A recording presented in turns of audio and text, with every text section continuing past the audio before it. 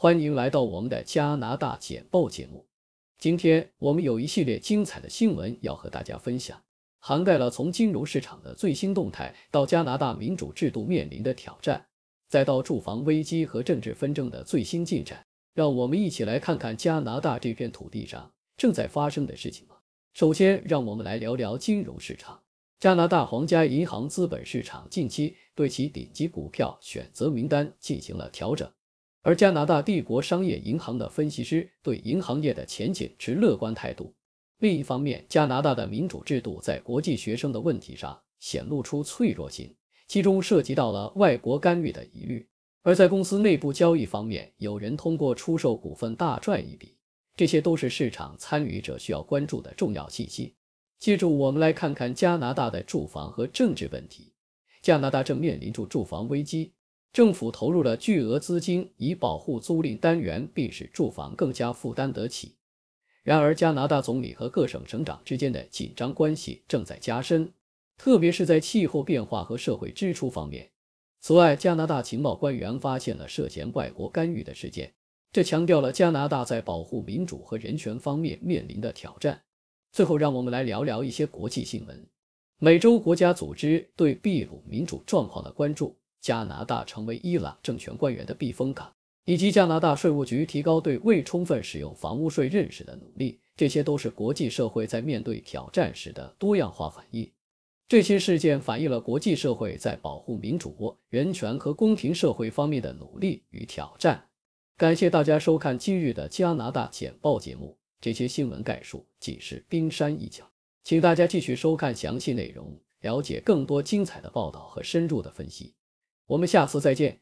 在金融市场的风云变幻中，The Globe and Mail 近期报道了一系列引人注目的动态。首先，加拿大皇家银行资本市场对其顶级股票选择名单进行了调整，从中移除了 Suncor Energy 和 RC Resources 两家能源公司。原因是这两家公司的动力和增长得分在减弱，取而代之的是加入了 Chichin 康克和 TS Corp 和 TS。此外，加拿大帝国商业银行的分析师 Zora b u v a h i l i 对加拿大银行业的前景持乐观态度。他预计当前季度银行业的逆风将消散，利润增长将加速。与此同时，加拿大的民主制度似乎在国际学生的问题上显露出脆弱性。The g l o b a l Mail 的另一篇文章揭露了一起涉嫌外国干预的事件，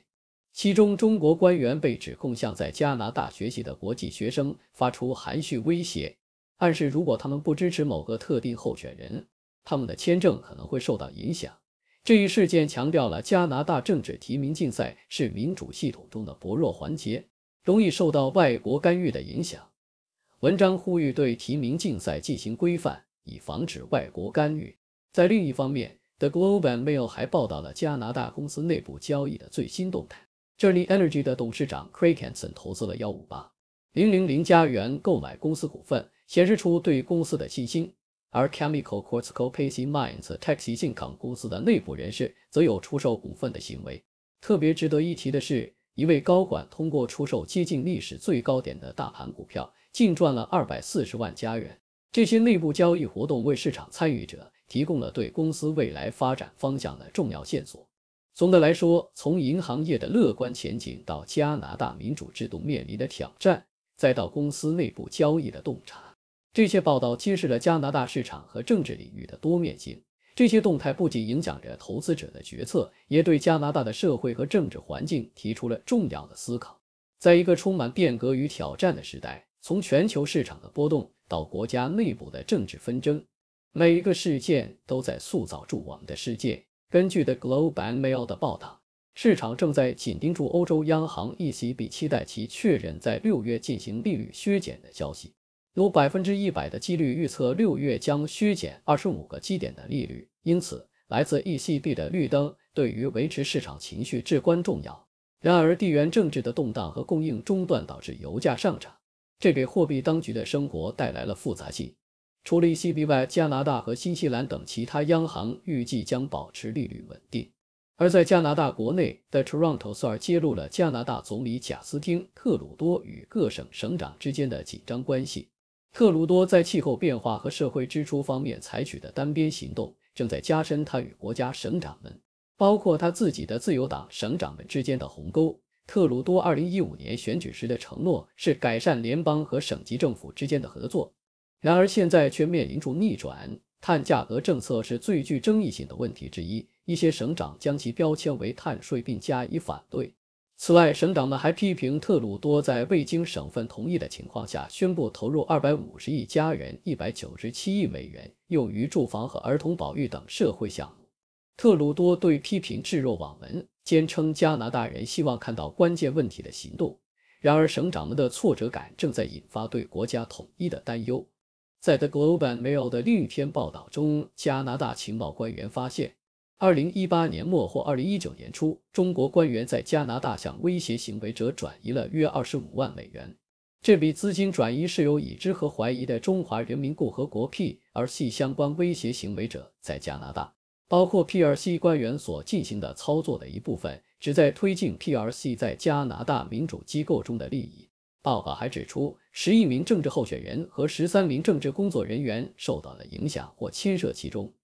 这些揭露是外国干预调查的一部分。这些事件从全球市场的波动到国内的政治纷争，都在提醒我们：我们生活在一个互相连接、互相影响的世界中。无论是国际金融市场的决策，还是国内政策的变化，都可能对我们的日常生活产生深远的影响。在这个充满挑战的时代，保持警觉和了解正在发生的事情，比以往任何时候都更为重要。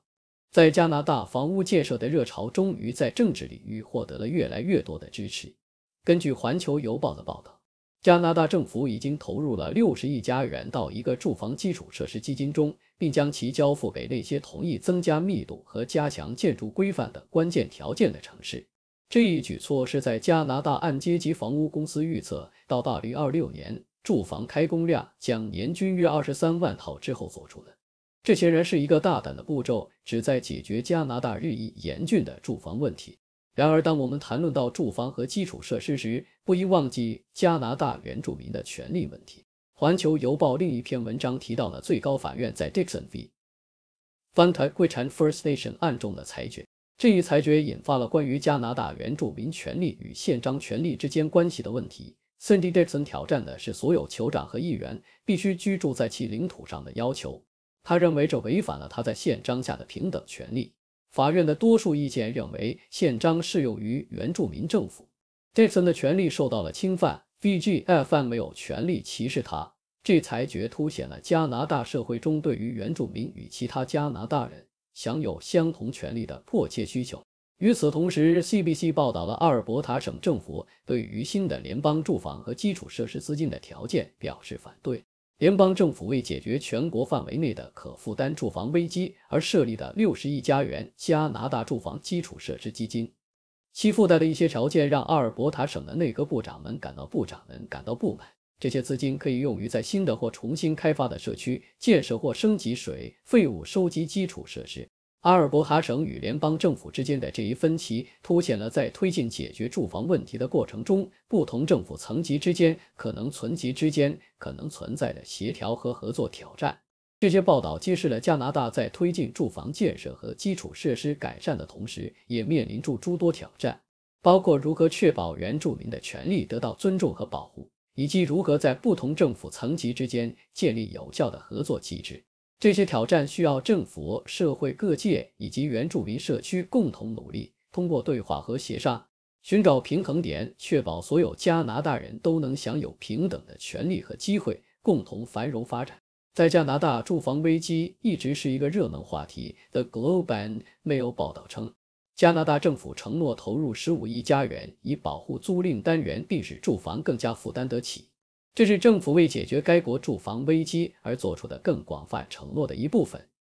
尽管如此，尽管如此，负担得起的住房倡导者呼吁简化新建筑审批的官僚程序，以增加供应，但表示政府本周的资金宣布，包括六十亿加拿大住房基础设施基金和一百五十亿加元用于租赁公寓建设贷款计划。仍然不够。加拿大按阶级住房公司的一份报告显示，到2030年，加拿大需要增加350万套住房单位。同一媒体还报道了一系列商业与投资新闻，其中包括福特汽车公司宣布将其安大省奥克维尔工厂的电动车一笔推出延迟两年至二零二七年。在另一方面，由于加拿大人转向折扣零售商，以减轻通胀带来的挑战，Dollar Around Inc. 第四季度的利润增加了百分之二十四。Taylor Swift 首次加入福布斯世界亿万富翁榜，估计财富为十一亿美元。Trans Mountain 石油管道扩建项目将于五月一日投入商业服务。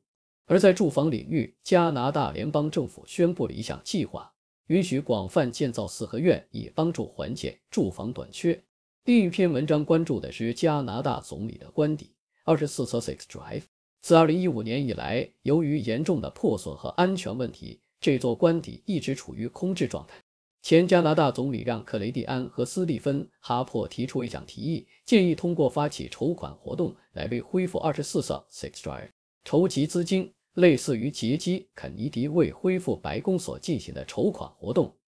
这个提议在加拿大人中引起了不同的反响。